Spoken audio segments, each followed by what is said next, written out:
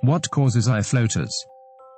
Eye floaters resemble black or gray obstructions in your field of vision that simply seem to drift about aimlessly. These floaters can appear on a regular basis and then disappear for some time, only to reappear again sporadically.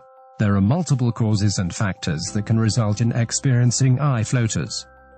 Some of these may be due to age, infection, injury or retinal damage.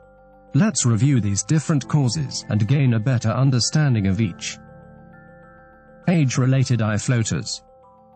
This is the most common cause, where the fluid-like substance that fills the space behind your cornea can act as a pool for the cornea's normally recycling of cells. As these cells come off the internal tissues of the cornea and proceed to drainage, they sometimes float before they are drained.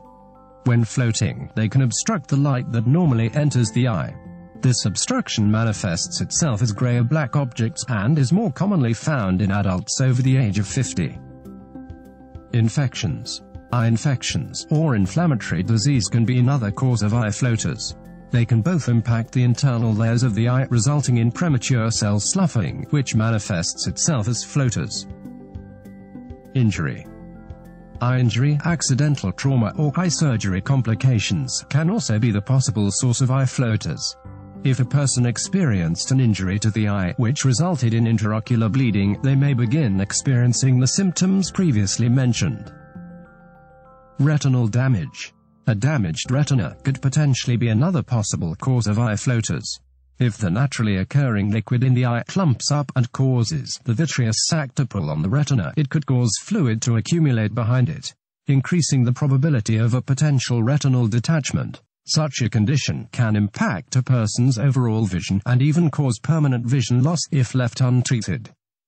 A better understanding of the causes of eye floaters, the symptoms, as well as the treatment options, can help a person make an informed decision as to how to properly address the matter.